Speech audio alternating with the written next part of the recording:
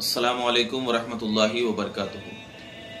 ٹوپی پہننا بھی یہ نبی کریم صلی اللہ علیہ وسلم اور صحابہ، تابعین اور علماء کے اقوال سے ثابت ہے۔ یعنی حضور کریم صلی اللہ علیہ وسلم نے بھی ٹوپی پہنا ہے۔ صحابہ رضوان اللہ علیہم اجمعین کے عمل نے بھی ہمیں بتایا ہے کہ ٹوپی پہننا جو ہے یہ سنت رسول، سنت صحابہ، سنت تابعین، سنت اقوال ائمہ ہے۔ تو جو لوگ یہ کہتے ہیں کہ ٹوپی پہننا یہ کہیں سے ثابت نہیں ہے اور اس کا پہننا کیا ہے درست نہیں ہے، تو ان لوگوں کا یہ نظریہ جو ہے وہ احادیث کے بالکل خلاف ہے۔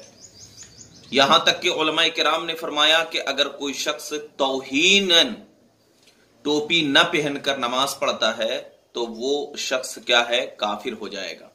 لیکن اگر بھول سے اس نے ٹوپی نہیں پہنا اور نماز ویسے ہی کھلے سر پڑھ لیا تو اس کی نماز میں کوئی فرق نہیں پڑے گا، نماز ہو جائے گی۔ جان بوجھ کر نماز ٹوپی نہیں پہنا اور اس کی توہین کرنا مقصد نہیں تھا تو بھی اس صورت میں نماز ہو جائے گی، لیکن قدرے مکرو ہوگی۔ لیکن اگر توہین کی نیت سے اس نے ٹوپی نہیں پہنا اور اس صورت میں نماز پڑھ لیا تو اس کی نماز بھی نہیں ہوگی اور وہ شخص ایک سنت رسول کی توہین کرنے کی بنیاد پر وہ شخص کافر ہو جائے گا۔ تو لہٰذا اس بات کا بالکل خیال رکھیں اور جب کوئی چیز احادیث سے ثابت ہو جاتی ہے تو اس کا کرنا جو ہے ہمارے لیے باعث برکت ہوتا ہے۔ تو ٹوپی کے حوالے سے احادیث پاک میں بہت ساری روایتیں موجود ہے پہلی روایت جس کو کہ امام ترمیزی نے جامع ترمیزی کے صفحہ نمبر دو سو پینسٹھ پہ حضرت ابن مسعود رضی اللہ تعالی انہوں سے بیان کرتے ہیں کہ نبی کریم صلی اللہ علیہ وسلم نے فرمایا کہ جس دن حضرت موسا علیہ سلاۃ وسلام نے اپنے رب سے کلام کیا۔ اس دن انہوں نے ایک اون کی چادر اور اون کا جبا اور اون کی ٹوپی اور اون کی شلوار پہنی ہوئی تھی اور دراز گوش کی کھال کی دو جوتیاں پہنی ہوئی تھی۔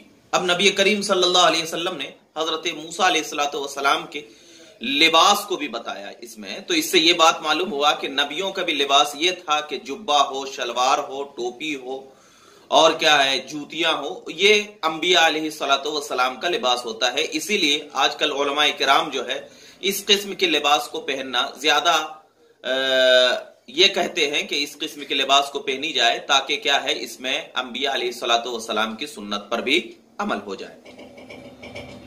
ایک اور حدیث جو جامع ترمیزی کی صفحہ نمبر دو سو چوپن پہ ہے، حضرت عمر بن خطاب رضی اللہ تعالیٰ عنہ بیان کرتے ہیں۔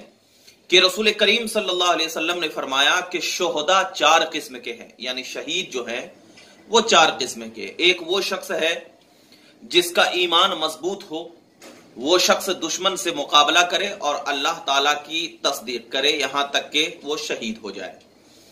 یہی وہ شخص ہے کہ قیامت کے دن اس کی طرف سر اٹھا کر دیکھیں گے۔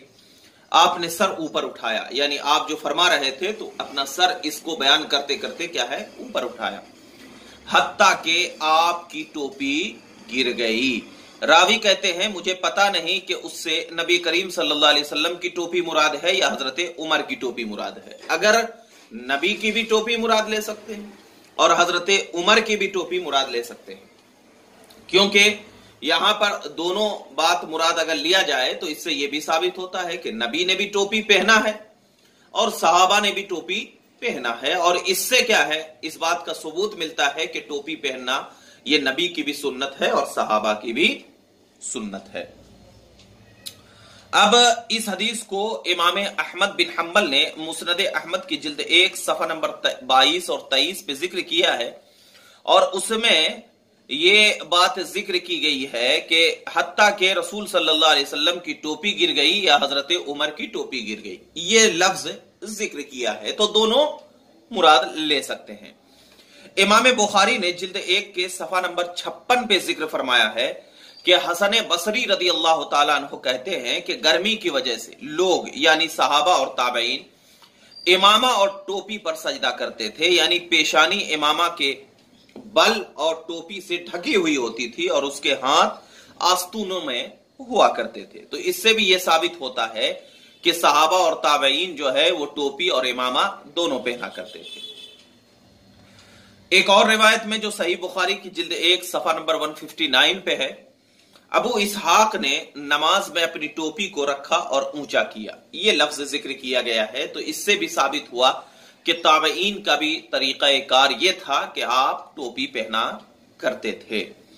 صحیح بخاری کے جلد ایک صفحہ نمبر پچیس اور صفحہ نمبر دو سو نو پہ بھی یہ ایک روایت مشہور ہے کہ حضرت ابن عمر رضی اللہ تعالیٰ عنہما بیان کرتے ہیں کہ رسول کریم صلی اللہ علیہ وسلم سے ایک شخص نے پوچھا کہ محرم کیا لباس پہنے؟ آپ نے فرمایا قمیص، امامہ، شلوار اور ٹوپی نہ پہنے۔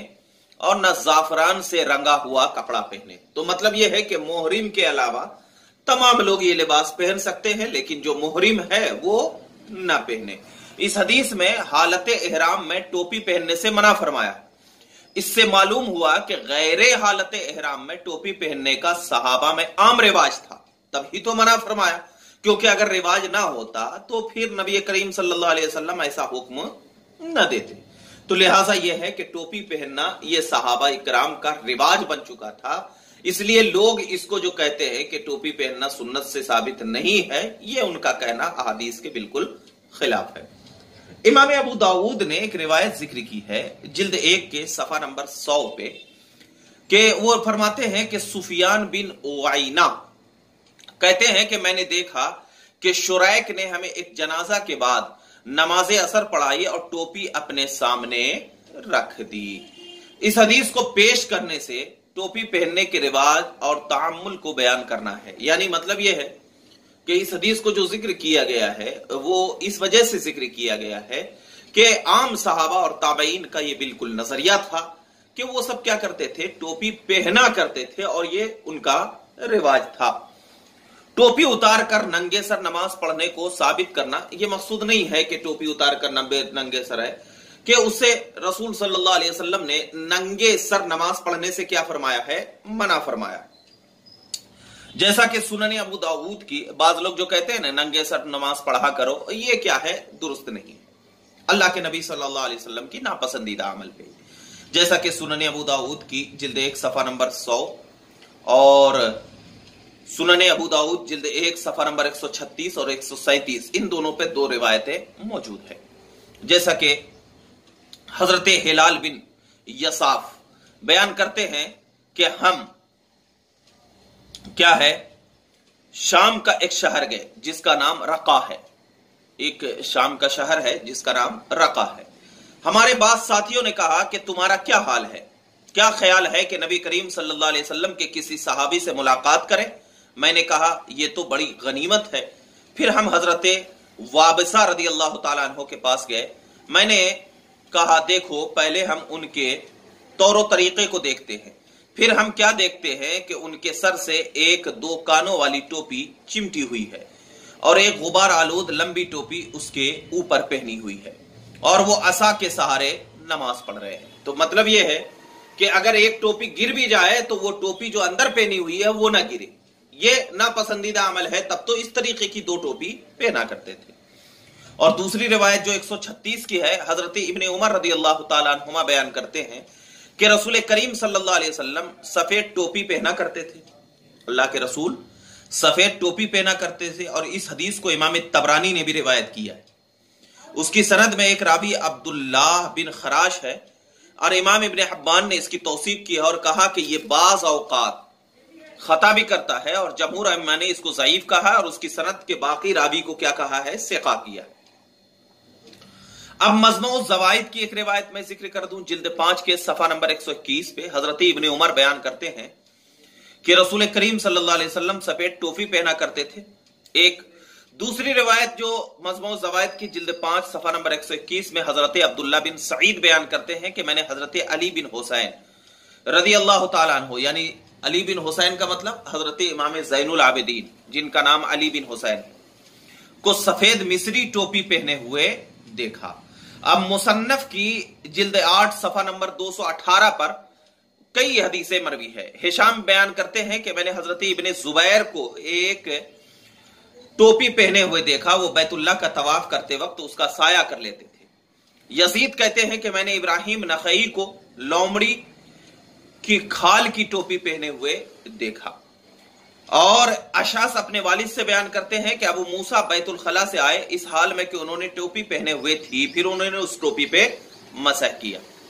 اس کے بعد حضرت ابن عباس رضی اللہ تعالیٰ عنہ کنزل مال کی جلد سات، صفحہ نمبر 121 پہ بیان کرتے ہیں۔ حضرت ابن عباس رضی اللہ تعالیٰ عنہما بیان کرتے ہیں کہ رسول اللہ صلی اللہ علیہ وسلم امامہ کے نیچے ٹوپی پہنتے تھے اور امامہ کے بغیر بھی ٹوپی پہنتے تھے۔ اور امامہ بغیر ٹوپی کے بھی پہنتے تھے اور آپ یمنی ٹوپی پہنتے تھے اور جنگ میں کانوں والی ٹوپی پہنتے تھے اور بعض اوقات اپنی ٹوپی اتار کر اس کو سترا بنا کر نماز پڑھتے تھے یعنی رکھ دیا کرتے تھے۔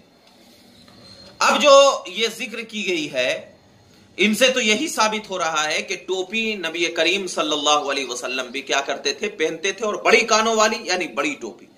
اور اس وجہ سے یہ فرمایا ہے علماء کرام نے کہ رسول کریم صلی اللہ علیہ وسلم نے جو ٹوپی پہنا ہے، اس کی وجہ یہ ہے کہ ٹوپی جو ہے، یہ اصل میں اس کے پہننے کا وجہ یہ ہے کہ یہاں پر ٹوپی جو ہے، وہ اسلام اور کفر کے درمیان فرق پیدا کر دے کہ لوگ جو ٹوپی پہنتے ہیں، اس سے یہ ثابت ہو جائے، یہ فرق محسوس ہونے لگے کہ ایک ٹوپی پہننے والا کیا ہے؟ یہ مسلمان ہو اور فرق ہو۔ تو ایک چیز یہ ہے کہ جس دور میں جس قسم کی ٹوپی پہنی جا رہی ہے، اسی قسم کی ٹوپی کو پہننا شریعت اس بات کی اجازت دیتی ہے۔ بعض لوگ آج کل کیا ہے، گاندھی ٹوپی بھی پہنتے ہیں۔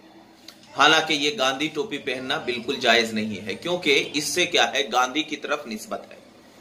آپ جو ٹوپی پہن رہے ہیں، برکاتی ٹوپی جو ابھی آج کل چل رہی ہے، اشرفی ٹوپی، اشرفی تاج یہ سب کیا ہے؟ ایک نسبت کی چیز ہے۔ تو اس کو پہننے سے یہ بات واضح طور پر ہو جائے گی کہ ایک اسلام اور کفر کے درمیان کیا ہے؟ فرق محسوس ہو جائے۔ اور لوگ کیا ہے؟ آپ کو مسلمان سمجھنے لگے نبی کریم صلی اللہ علیہ وسلم جو اس وقت ٹوپی اور صحابہ کرام کا جو رواج تھا، جو معمول تھا، وہ اسی لیے پہنتے تھے تاکہ لوگوں کے درمیان کیا ہے؟ عام امتیاز پیدا ہو جائے۔ اسی لیے کیا ہے؟ ٹوپی پہننا۔ یہ شریعت اسلامیہ میں جائز ہے۔ اب جب لوگ یہ کہتے ہیں کہ ٹوپی وغیرہ پہننا شریعت اسلامیہ میں جائز نہیں ہے، اس کو پہن کر نماز نہ پڑھو، تو ہم تو یہی کہتے ہیں کہ اگر کوئی پھول سے ننگے سر نماز پڑھ لیا تو نماز میں کوئی حرض نہیں ہوگا۔ لیکن ایک بات کا خیال رکھیں کہ اگر آپ اس کی توہین کرتے ہوئے کسی سنت رسول کی توہین کرتے ہوئے آپ اگر نہیں پہنتے ہیں تو پھر آپ کافر ہو جائیں گے۔ اس بات کا خیال رکھا جائے۔ اور ہم کو سنت رسول پر عمل کرنا ہمیشہ اچھا لگتا ہے اور اسی پر عمل کریں اور اسی کو اپنا شیار بنائیں۔ السلام علیکم۔